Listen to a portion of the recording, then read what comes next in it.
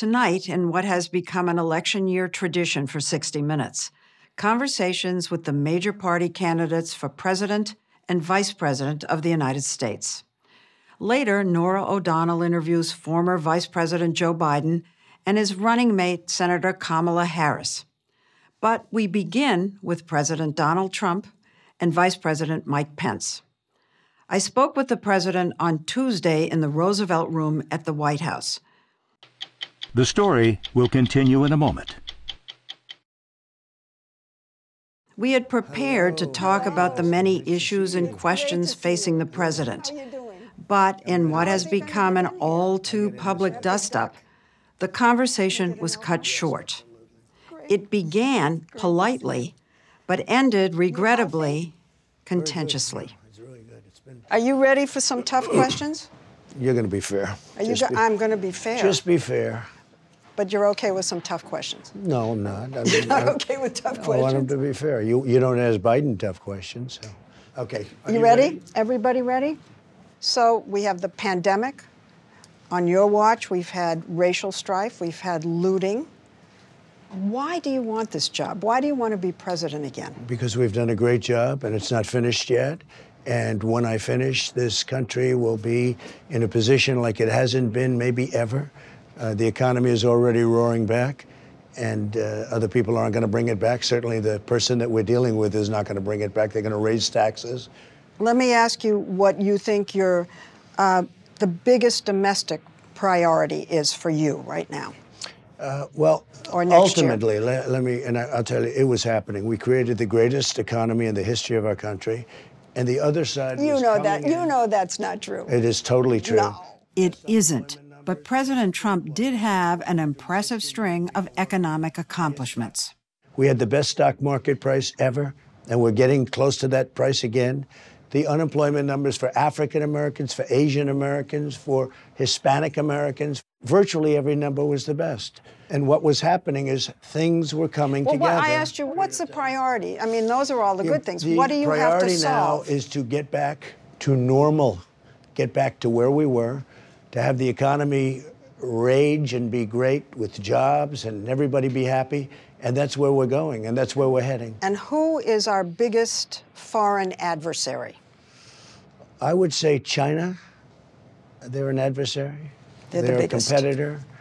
They're a foe in many ways, but they're an adversary. Uh, I think what happened was disgraceful. Should never have happened. Should they should never have allowed this plague to get out of China and go throughout the world. 188 countries. Should never have happened. Four years ago, you were behind in the polls, as you are now, and you pulled it out.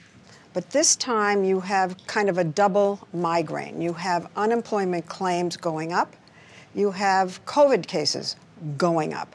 I mean, it's like the gods have suddenly decided decided to conspire against you. I don't you. think so at all. No, I think Well, we've what done a about great these- job with COVID. Sir, excuse me, cases are up in about 40 Okay, states. You know why cases are up also? Because we do more testing. The fake news media loves to say cases are up. The fact is, we've done a very, very good job. Cases are up. We have done, that's right, because we're doing so much testing. There is increased testing, but according to the COVID tracking project, that doesn't account for all of the rise in new cases sweeping the country or the 40% increase in hospitalizations in the past month. When you're out there saying we've turned the corner, this thing is disappearing, That's and right, people can see corner. We have turned the people can see cases going up all over the in the Midwest, in the Mountain West. Record numbers of cases in some corner. states. We understand the disease. We understand the elderly, and we are taking care of them like nobody's ever taken care of them. So we are taking care of our people. Okay, let me let me ask you something about suburban women. Yeah. Suburban women, will you please like me? Remember? Please. Please. I saved your damn neighborhood, okay?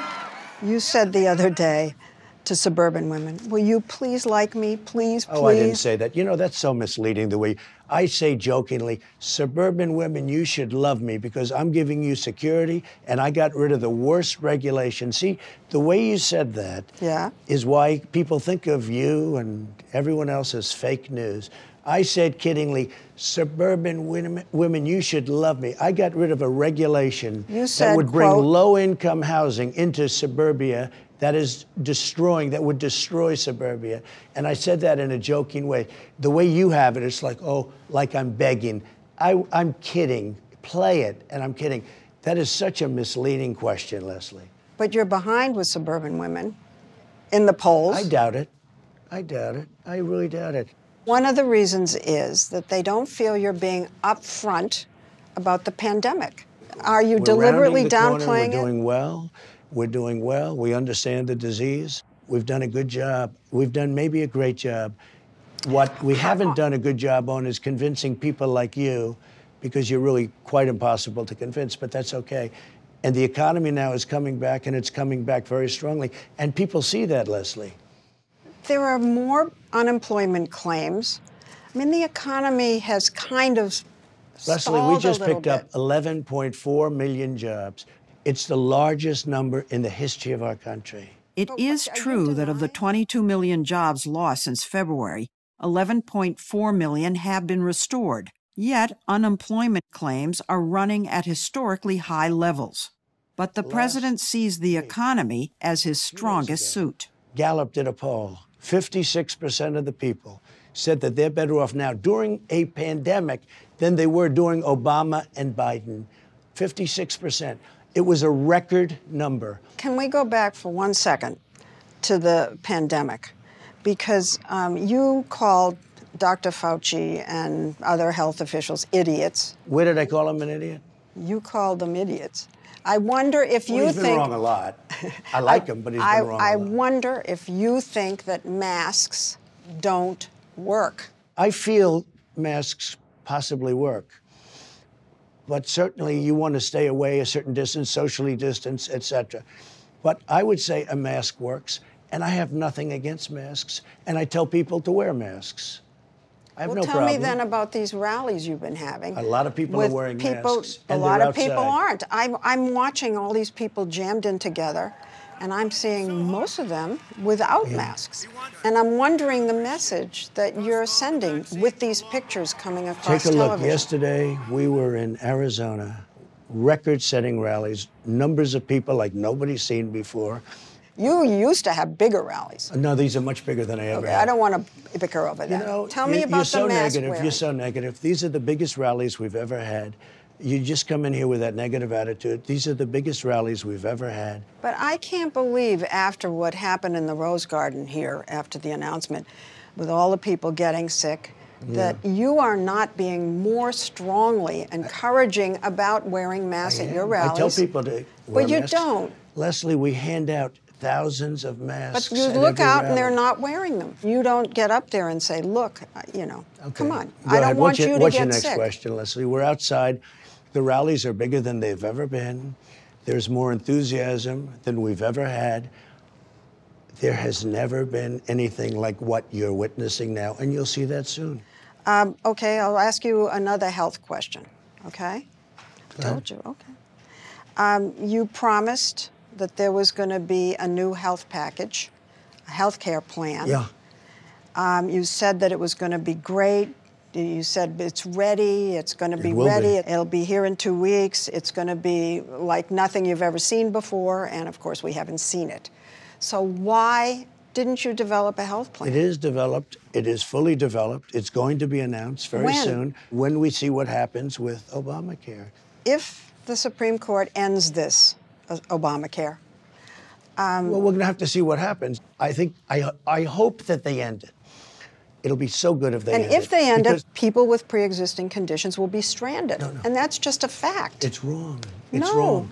A new plan will happen. But will And we won't do anything, will and is. We won't do anything and no plan unless we have pre existing conditions covered.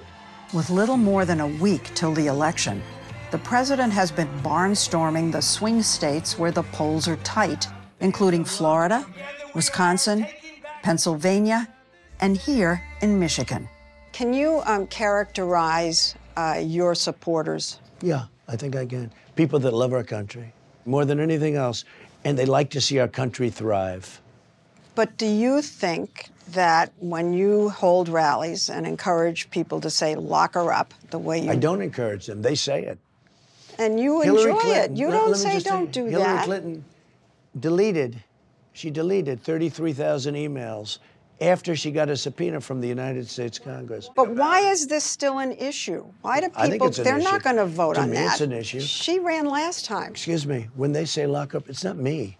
They say it. It starts, it, You it ends up being it. a, I don't encourage it. Yes, you no, do. if I mention her name about something, they go crazy. Well, what about the governor of Michigan? Governor Gretchen Whitmer was the target of a kidnapping plot by an armed militia group.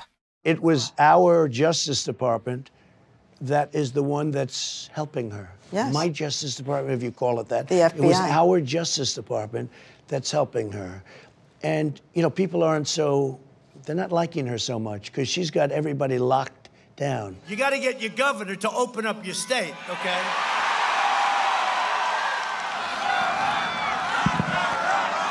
Lock 'em. Lock 'em all up.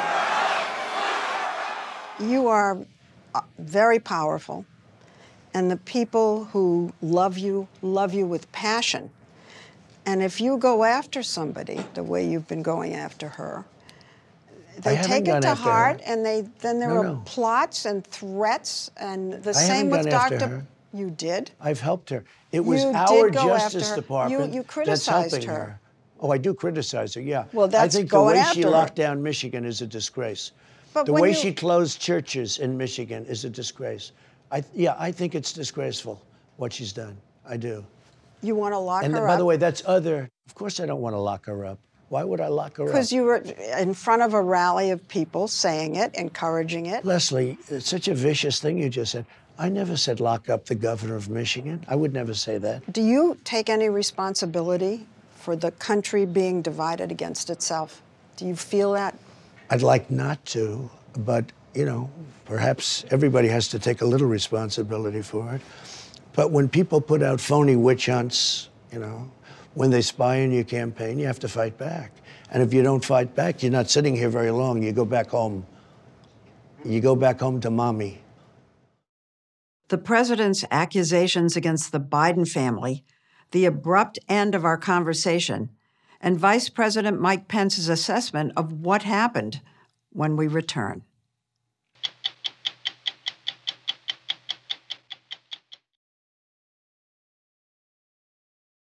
As we moved from subject to subject, our conversation grew more tense. President Trump brought up what he calls the unfairness of the fake media, most prominently, a lack of coverage of his unproven and unverified charges that former Vice President Joe Biden and his son Hunter have received millions of dollars in corrupt payments from a Russian oligarch and a Chinese billionaire. The story will continue in a moment. I wish you would interview Joe Biden like you interview me. It would be so good. You know what? You The- like this, the- I thought. I thought you I don't mind it. I don't mind it. But when. I watch him walk out of a store, and he's walking with a ice cream, and the question the media asks him, "What kind of ice cream? What flavor ice cream do you have?" And he's in the midst of a scandal, He's not. and he's taking. He's of course not. he is, No, Lesley. come on. Of course he is. It's the biggest, second biggest scandal. So- the biggest scandal was when they spied on my campaign. They spied on my campaign. Well, there's no e- real evidence of that. Of course there is. No. It's all over the place. Lesley, Sir, they spied on my campaign and they got I, caught. can I say something? You know, this is 60 Minutes, and we can't put on things we can't no, verify. you won't put it on because it's bad for Biden. We can't Look, put on you, things we can't verify. Lesley, they And- spied on my campaign. Well, we can't verify It's been totally that. verified. No. It's been just go down and get the papers. They spied on my campaign, they got caught. No. And then they went much further than that, and they got caught. And you will see that, Lesley, and you know that, but you just don't want to put it on the air. as a matter of fact, I don't know that. Okay. And you're out so there. why don't you get back to your interview and let's go? Do you think that your tweets and your name calling are turning people off? No, I think I wouldn't be here if I didn't have social media. Well, but the media is fake. And frankly, if I didn't have social media, I'd have no way of getting out my voice. Do you know what you told me a long time ago when I asked why you keep saying fake m- media? Yeah. You said to me, I say that because I need to dis- uh, discredit you so that when you say negative things about me, no one will believe I don't you. have to discredit you. But that's what you You've told me. You've discredited yourself. You know, I didn't want to have this kind of Of angry. course you did. No, I didn't. Of course you did. No, I didn't. Well, then you brought up a lot of subjects that. Well, I said I'm gonna ask you tough up. questions. They were inappropriately But- brought up, right from the beginning. No, your first question was, "This is going to be tough questions." Why? You don't ask Joe Biden. I saw your interview with Joe, the interview with I Joe never did a Joe Biden interview. it was Biden a joke. The interview, 60 Minutes. I see Joe Biden giving softball after softball. I've seen all of his interviews. He's never been asked a question that's hard. Okay, but forget him for a minute. No, but you you're start with president, me. You're president, and Excuse me, Lesley, you started with me. Your first statement was, Are you ready for tough questions? are you? That's no way to talk. It's no way to talk. Lesley, one, one second. At this point, one of our producers interrupted to advise about the time remaining in the interview. I think we have enough of an interview here, Hope. Okay, that's enough. Let's go. Let's go. In fa- uh, let's go meet for two seconds, okay? Thanks. I'll see you in a little while. Thanks. Be careful. We were scheduled to take a walk with the president around the White House grounds. I've got a lot of questions I didn't ask. While we waited to see if the president was coming back, Rich? his press secretary, Kayleigh McEnany, came in with a hand delivery. Lesley, the president wanted me to deliver his health care plan. It's a little heavy. Oh my God, this is his health care plan. Yes.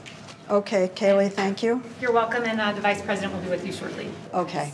And the president's not coming back? Uh, the president's giving you a, a lot of time. It was heavy, filled with look this. executive orders, congressional can't initiatives, but no comprehensive health plan. Hello, Lesley. Hi, Mr. Vice President. While our interview with the president did not go forward, Thank you very the one scheduled with the vice president did. So what just happened with the president? Lesley, uh, President Trump is a man who speaks his mind. I think it's one of the great strengths that he's had But he as President out. of the United States, is that the American people always know where they stand. I'll buy and that. he's always ready. And the American people know that uh, in this time, it's, it's, it's less about the back and forth with the media, and it's, it's really more about how we bring this country all the way back. We then asked the vice president to put on his hat as the head of the White House Coronavirus Task Force. Dr. Fauci, uh, you know the president said that he's a disaster, and he and the o- other public health officials around him are idiots. Do you uh, care to comment on that? The scientists who've worked around the White House Coronavirus Task Force, who will meet again today here at the White House, uh, have provided a great public service. They So brought the idiots. perspective of scientists all along the way. And I have, a, I have a strong relationship with Dr. Fauci and Dr. Birx. But remember, the President of the United States has to consider the whole of America. The President's been balancing the broad interests of the country uh, and the health of the American people, and we'll continue to do that every day. So let's say there's a mother out there, let's say in a hot spot in Wisconsin, and she's wondering whether she should send her children to school. Now, what's your advice? Lesley, we got to get our kids back in school. And I would say to that mother or any mother that we're going to continue to work our hearts out to make sure that those schools have the testing, have the PPE, have the supplies they need to get our kids back where they belong, safe and sound in the classroom. So, are you saying she should send the kids back? Should the kids wear masks? I think they should adhere to whatever criteria the school administrators and local health officials determine to be appropriate. But really, again, I want to say the American Academy of Pediatricians made it clear early on that distance learning, this online learning, is no substitute for being in the classroom. What about Thanksgiving? Should people feel safe to get together with their family, with their grandparents, with their aunts and uncles? Thanksgiving is one of my favorite holidays. Me Too. And, and I'm looking forward to it with our family. With a big, with extended? I think that's a decision every American family can make based on the circumstances in their community, the, the vulnerability of particular family members. You know, one of the things we apprehended early on is that seniors, particularly those with serious underlying health conditions, are the most at risk uh, for a serious outcome if they contract the coronavirus. And so well, families may make a decision that, that certain elderly family members might take a pass. But, but I think the difference between President Trump and me and, and some of the public voices in this debate over the last year has been we trust the American people. Norah O'Donnell talks with former Vice President Joe Biden and his running mate, Senator Kamala Harris, when we come back.